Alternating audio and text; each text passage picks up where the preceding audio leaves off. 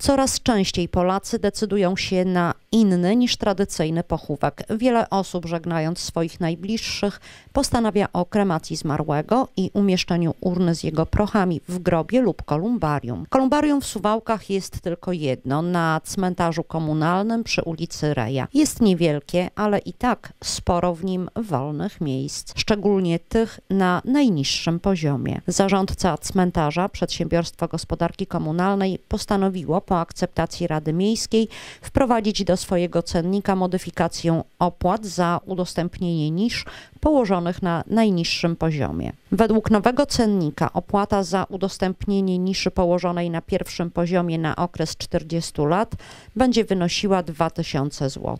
Umieszczenie urny na wyższym poziomie na ten sam okres będzie kosztowało o 500 zł więcej. Jeśli zaistnieje sytuacja, w której do opłaconej niszy będziemy chcieli przed upływem tego czasu dostawić kolejną urnę, wówczas będziemy musieli zapłacić za następny 40-letni okres, przy czym od należnej opłaty odliczony zostanie ryczałt za najprościej rzecz ujmując niewykorzystane lata przechowywania pierwszej urny. Urnę możemy również pochować w tradycyjnym grobie.